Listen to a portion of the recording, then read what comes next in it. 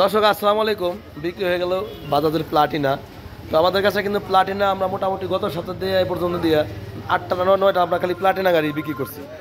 তো বর্তমান হচ্ছে তেলের দামের কারণে বর্তমান ছোট গাড়িগুলো অনেকে চেয়ে থাকে। তো ভাই কেমন আছেন? বাইকটা কিনে তো খুশি হয়েছেন? আপনার কাছে দাম চাই চেয়েছিল বাহাত্তর।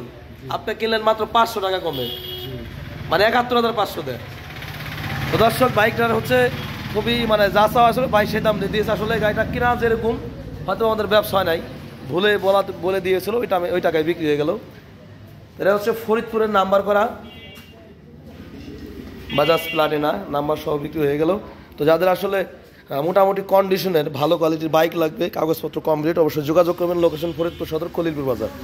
আচ্ছা আমাদের কাছে কি কাস্টমার আসতে পারবে? আস্থা আছে তো? দর্শক ভালো থাকুন সুযোগ আমি শেষ করব। আসসালামু আলাইকুম রহমতুল্লাহ।